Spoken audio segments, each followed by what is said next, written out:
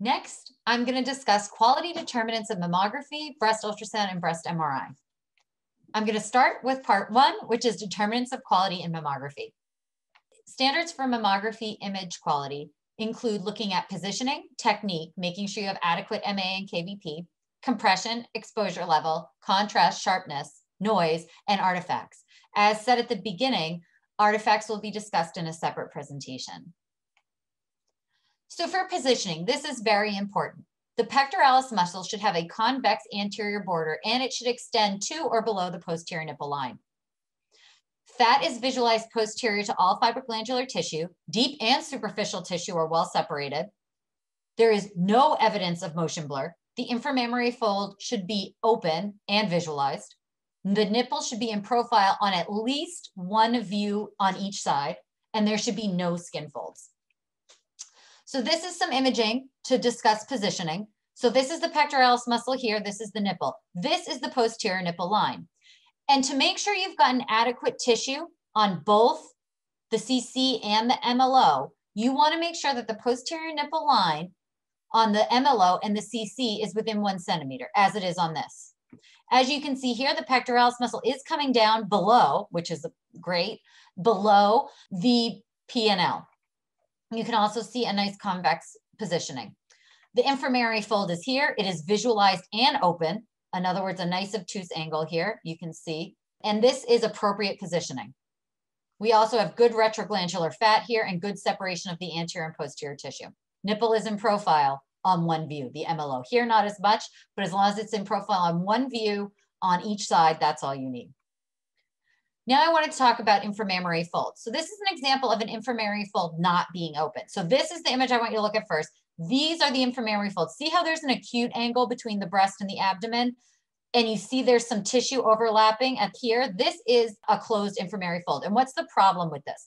The problem with this is there could be a mass or calcifications hiding in here and you cannot see it because it's folded. So this technologist was great, great technologist, realized there was some limitation to her film and immediately took IMF views with them open. So you can see the difference specifically here. It still didn't get quite as open here, but look how beautiful this is. You can see everything and we can be 100% sure there is no calcifications and no mass hiding in this inframammary fold.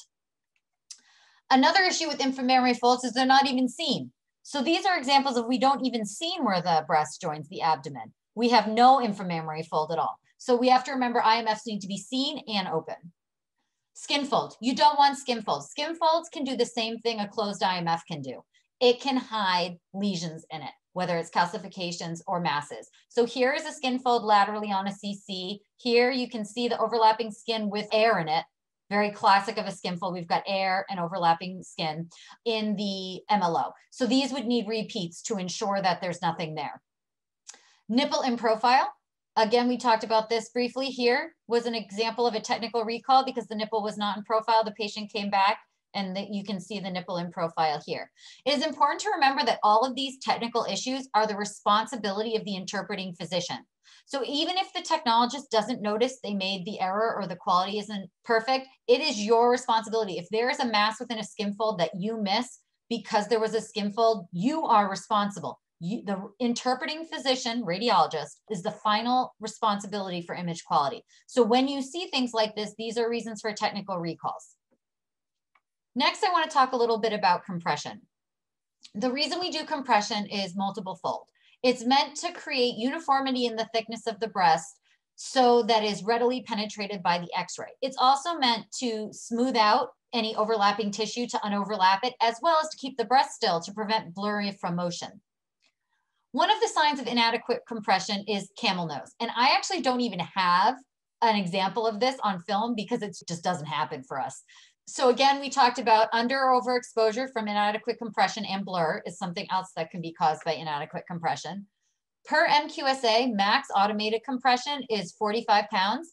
Minimum automated compression is 25 pounds and manual compression needs to be present as well and used at the discretion of the mammographer and the upper limits of compression for that is 65 pounds.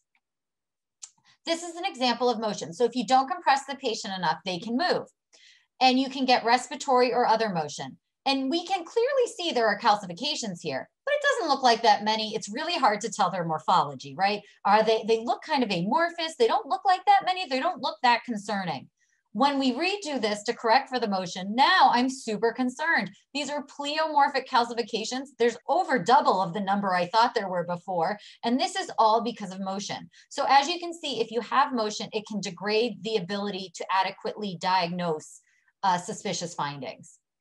Here's another example of motion. This was a screening mammogram. Nothing looks really sharp here. Everything is fuzzy, blurry. It looks like they're moving. We had a technical recall come back. Everything is crisp, sharp, not blurry, much better. So again, motion mainly will obscure calcifications. Usually a mass isn't as obscured, but it's still good to not have any motion regardless camel nose. This was that example of camel nose I told you about that I don't have an actual image of. So I have a mock-up of it. And as you can see, everything is sagging. The nipple is pointing down. It should be up and out. The compression should be up and out. Nipple should point up and out. Breast tissue should be up and out from the chest wall. With camel nose, it's actually down, out, and sagging. So as you can see, there's there's not a nice straight line and nice, beautiful convex curve to the bottom of the breast like we usually see. The nipple is pointing down. Cooper's ligaments are sagging. IMF is non-existent. And these are all signs of camel nose and inadequate compression. And that is it for quality determinants of mammography.